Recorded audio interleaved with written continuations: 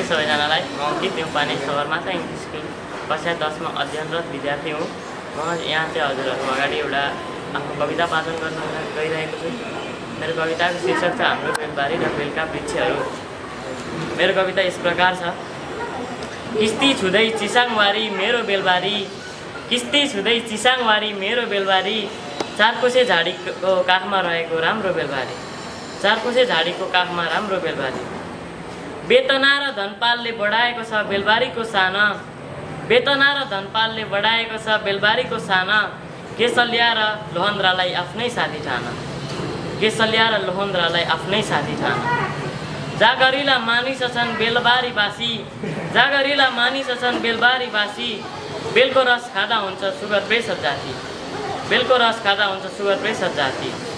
दिन शुभारम्भ हुन्छ रेडियो बेतना सुनि। दिन शुभारम्भ हुन्छ। रेडियो बेतना सुनि। काँडै काँडा भए पनि बेल तिमी कति गुणी काँडै काँडा भए पनि बेल तिमी कति गुणी लेटाङ पथरी ग्रामथान सुन्दर छिमेकी छन् हाम्रा। लेटाङ पथरी ग्रामथान सुन्दर छिमेकी छन् हाम्रा। मन चङ्गा हुन्छ मेरो रमिते डाँडा देख्दा।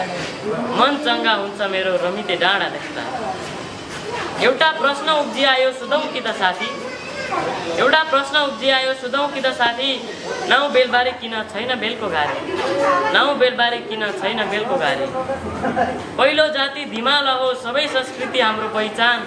पहिलो जाति धिमाल हो सबै संस्कृति हाम्रो पहिचान। बेलको बारी संरक्षण गर्ने राम्रो अभियान।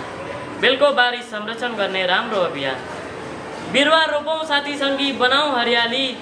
बिरुवा रोपौँ साथीसँगी बनाऊ हरियाली। सहकार्य गरौँ हामी जोगाउँ बेलबारी।